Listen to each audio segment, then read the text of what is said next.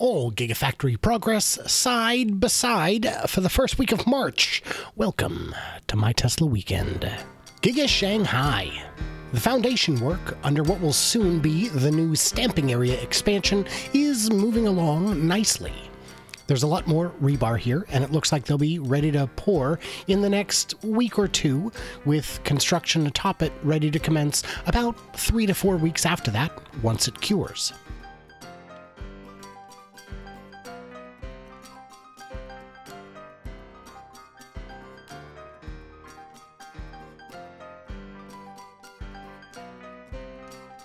The sliver wedge along the southeast corner is still hustling along nicely. Last week's freshly poured footings have been backfilled around, and the first vertical columns have been erected. There are far more footings between the Phase 2 buildings as well. What was just a bunch of dirt holes last week is now mostly concrete. Whatever is going on in this area will likely be nearing completion in the next two to three months.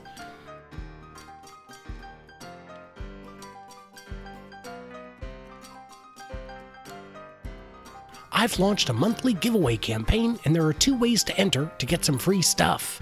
The first way is by becoming a Patreon, and the other is simply by subscribing or commenting on various videos throughout the month. If you haven't subscribed, it's free and it's really easy.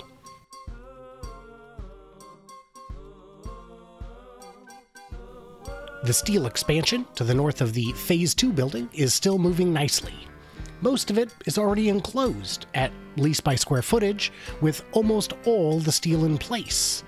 In the next week or two, we should see the roof and walls closed in.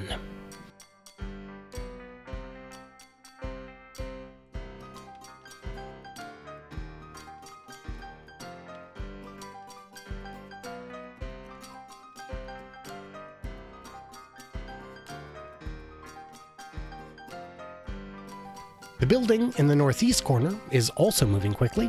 There are vastly more roof segments, sure, but the big difference is the steel on the walls, which is all but ready for exterior sheathing.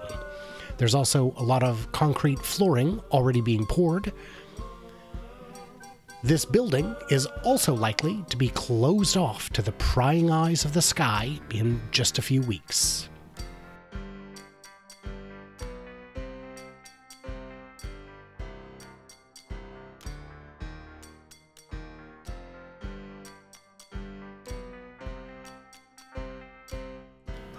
Giga Berlin. I'm taking a much wider view of Giga Berlin this week, using footage from late in the week instead of the weekend, since it gives a broader overview and a more apples to apples comparison. On the east side of the building, we can see a fair bit of progress on the exterior, as well as in the still open casting cathedral. At least one of the Giga casting machines is already being assembled here. You can also see in the bottom there's been a substantial amount of work to prepare for footing slash foundation work on the new warehouse, though warehouse is just a term we're kind of using loosely since we don't actually know what this building is going to be just yet.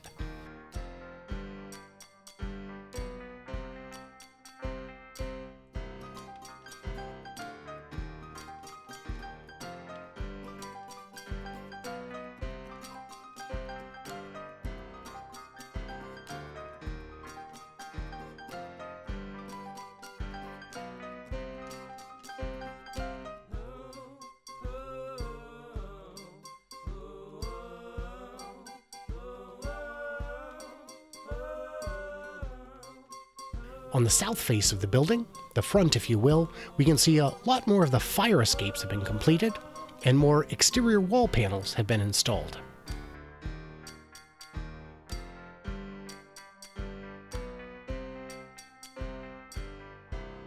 There are a lot more areas of the roof completed, and the amount of roofing material stored up top has reduced since, you know, it's been attached to the structure. It also appears as though the loading docks are being installed, And I'm pretty sure that stack of office containers right up front is one floor shorter than last week.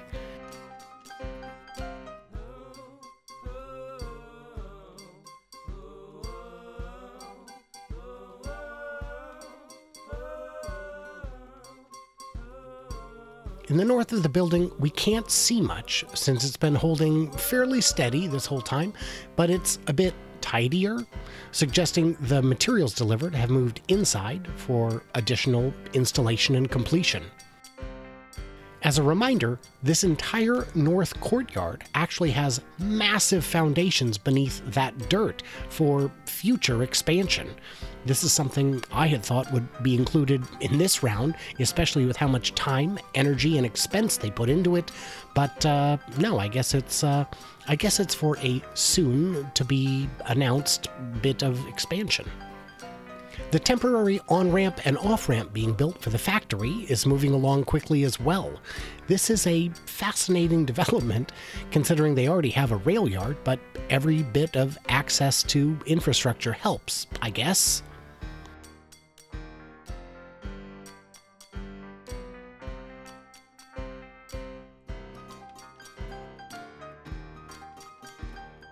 A big thank you to my Patreons who get early access, bonus content, and an extra entry to win some fun stuff on the channel.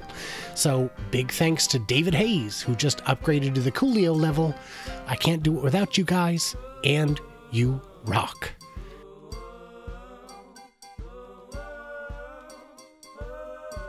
Giga Texas. To the north of the site, the cranes have begun congregating, which can only lead to baby cranes, if I understand my engineering physiology correctly, which we now see in abundance on other parts of the site. The casting roof has more concrete, and the east side structure roof now extends almost the full length of the building.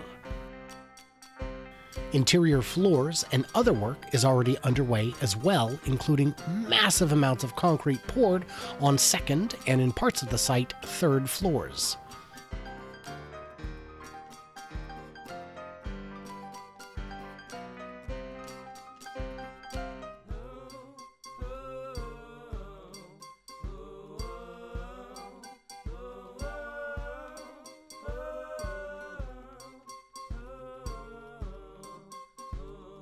At the Stamping Cathedral, new walls have been installed, and they are now working on interior fitting of HVAC, interior walls, and more.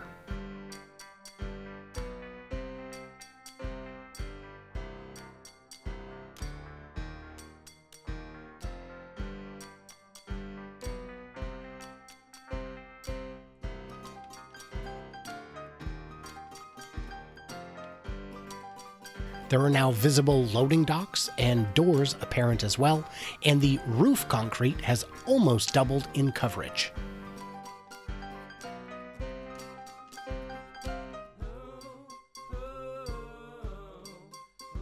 If you watch my GigaTexas Progress Tracker series, this week's video is gonna cheer you up a bit after a few weeks of pretty significant disappointment, as you may have guessed by seeing the progress on the site this week.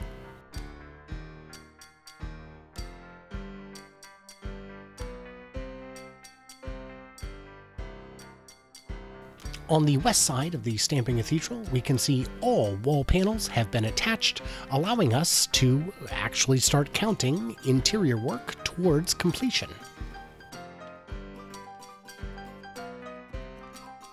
In the prairie, we see footing work continuing, with the west side perimeter grade beam extending almost as far as the footings.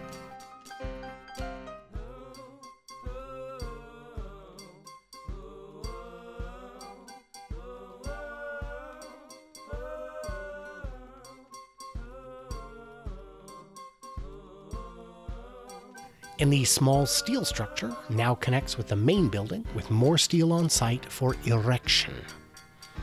There's also a lot more interior floors poured and roof coverage attached.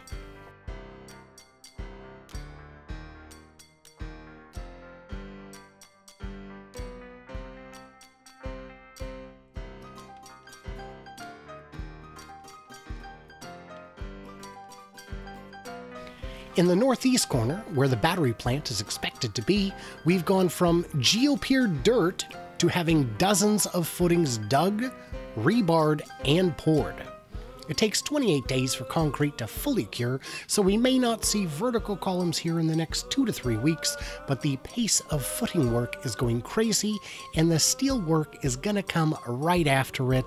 You'll see as they finish working on the prairie.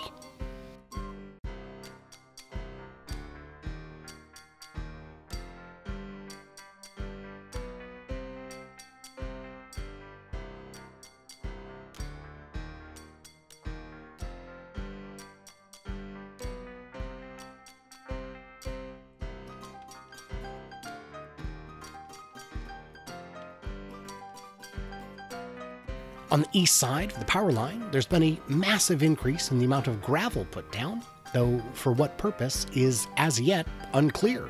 What do you guys think it'll be? So, what did I miss or misunderstand? Give me the what for in the comments, or just leave a message so you get entered into the giveaway to get some free stuff. Stay tuned, stay juicy, and I can't wait to hear from you, clever robots, as spring turns to summer.